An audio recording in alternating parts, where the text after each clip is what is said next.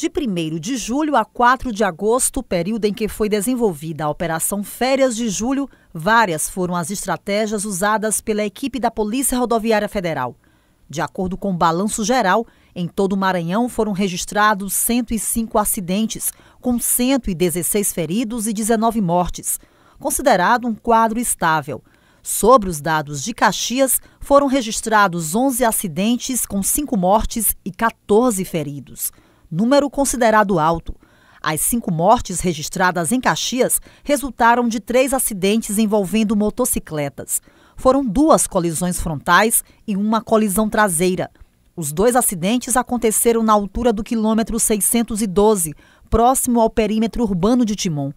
Dos 14 feridos, dois casos foram considerados graves e os outros 12 leves. O inspetor de operações da PRF de Caxias faz uma análise do resultado. Bem, nos três acidentes que geraram mortes, nós temos o envolvimento de motocicletas, né? E nesse sentido também a PRF tem intensificado as ações é, específicas relacionadas à fiscalização de motocicletas. Né? Mas, mesmo assim, né, os condutores insistem né, em conduzi-lo de forma irregular. Né? Outro ponto importante que devemos observar é que esses acidentes têm ocorrido aos finais de semana, né? nos finais de semana onde, além da imprudência dos veículos, ela está geralmente associada ao consumo de bebidas alcoólicas. Né?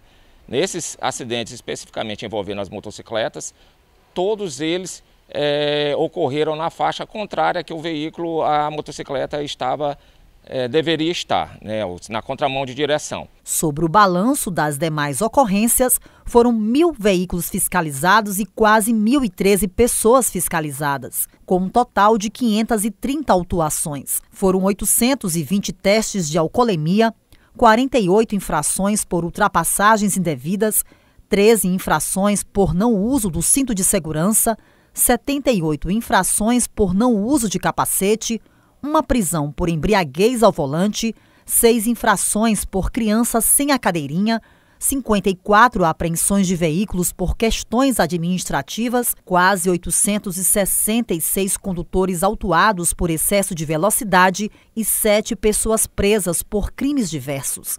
Como forma de combater infrações que envolvem abuso de velocidade, a PRF faz uso constante dos radares móveis. Nós temos intensificado também né, a utilização do radar fotográfico para flagrar é, os condutores que insistem em é, abusar da velocidade permitida para a via. Né? Nesse mês de julho, especificamente, nós tivemos quase 900 condutores autuados, é, flagrados na realidade, conduzindo seus veículos com a velocidade acima da permitida para a via, que o máximo é de 100 km por hora, em alguns trechos, é compreendido entre Caxias e Timon.